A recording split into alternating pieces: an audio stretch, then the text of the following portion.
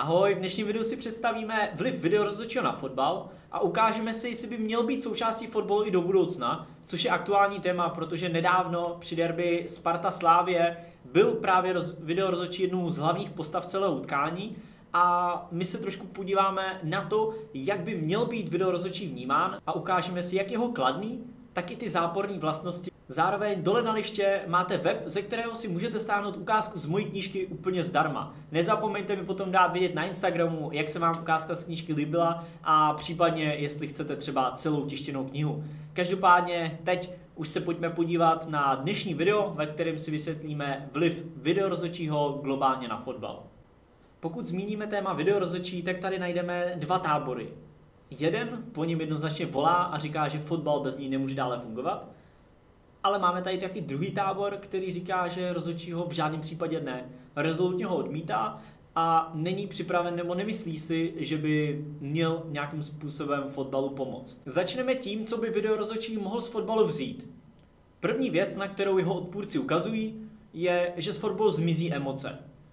S tím částečně se asi dá souhlasit, protože pokud se podíváme na to, co se nejvíc řeší po velkých zápasech nebo po jakýchkoliv zápasech, tak jsou to chyby rozhodčího, nebo co by se stalo, kdyby rozhodčí tohle udělal jinak. Vyhrál by tenhle tým, nebo by to skončilo stejně. A tohle je něco, co lidi řeší v práci, ve škole, v hospodě nebo na internetu, zkrátka úplně všude. A to je něco, co by z fotbalu zmizelo. S tím se dá souhlasit. Druhým faktorem je časová prodleva. To znamená, že se utkání bude zbytečně prodlužovat, zbytečně se bude protahovat, možná se bude i kouskovat a jsou to obavy z toho, že video rozhodčí bude využívaný až moc často. To znamená, bude využívaný nejenom na ty klíčové situace, ale i na nějaký menší, který třeba nejsou prospěšný a nějaký týmy ho budou třeba zneužívat.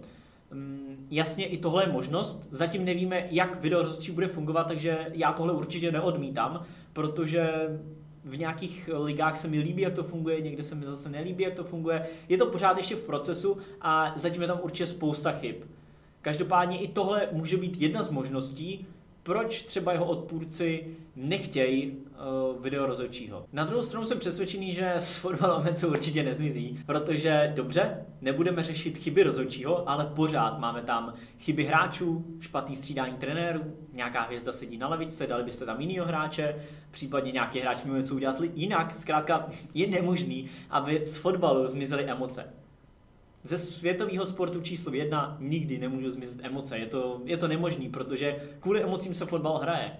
Ale ty emoce nemusí vytvářet chyby rozhodčího, ale můžou je vytvářet samotní hráči, protože jasně, oni nejsou roboti, takže přirozeně budou dělat chyby na tom není nic divného, takže emoce určitě nezmizí a jenom se budou řešit jiné věci a z mýho pohledu mnohem relevantnější věci, které by se měly řešit, protože nemyslím si, že je správný, že se po zápasech řeší rozočí, protože několikrát jsme viděli prostě úplně úžasný zápas, který ale se rozbil kvůli tomu, že se další den řešil jenom rozočí. A prakticky se zapomněl na to, jak ten zápas byl dokonalý. A zapomněli jsme na fotbal a řešili jsme jenom chyby rozočího. A to je podle mě něco, co, co není správně. Mně osobně se mi to nelíbí a proto jsem jednoznačně za video rozočího.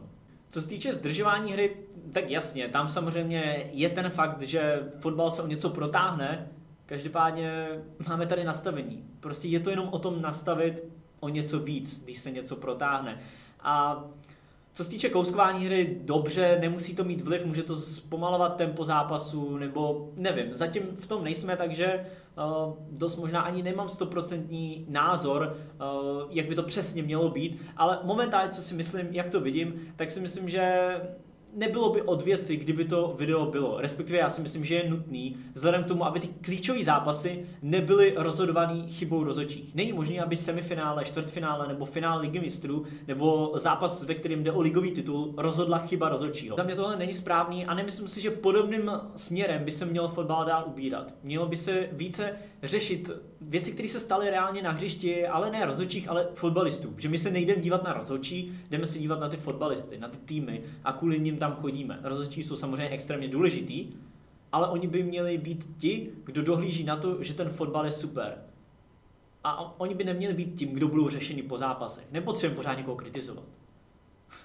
Naopak, moc rád bych rozhodčího prostě po zápasech pravidelně chválil, kvůli tomu, že tam nejsou žádný kontroverzní situace a mnohem příjemnější by mi to bylo.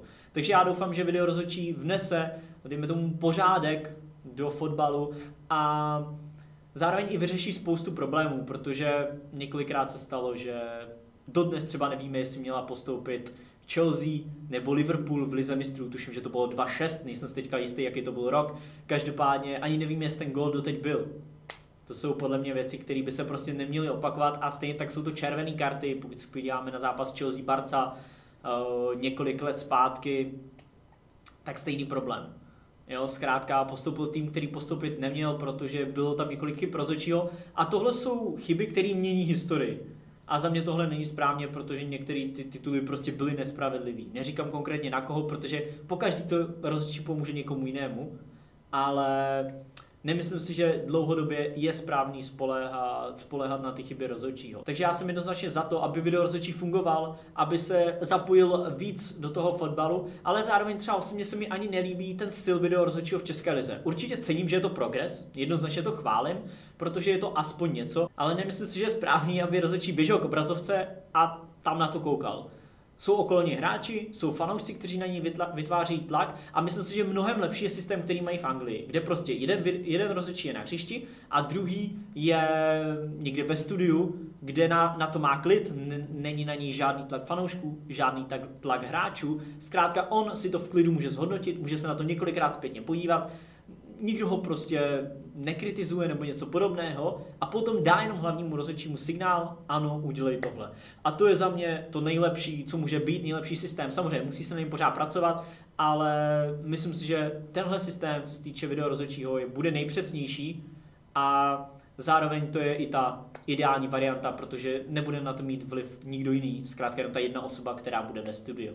Takže takhle asi můj názor na video rozhodčího ale rád uslyším i váš názor, takže Teďka jsem právě spustil akorát na svém osobním Instagramu Práža Originál, jsem spustil hlasování, ve kterém můžete hlasovat, jestli chcete video rozhodčího, nebo nechcete.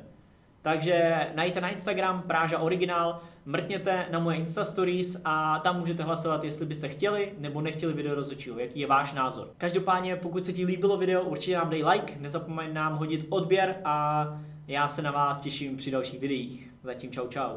Březnové číslo našeho online časopisu Fotbal netradičně je k dispozici ke stažení a stále zdarma. Najdete v něm také můj článek o Neymarovi a jeho cestě za zlatým míčem.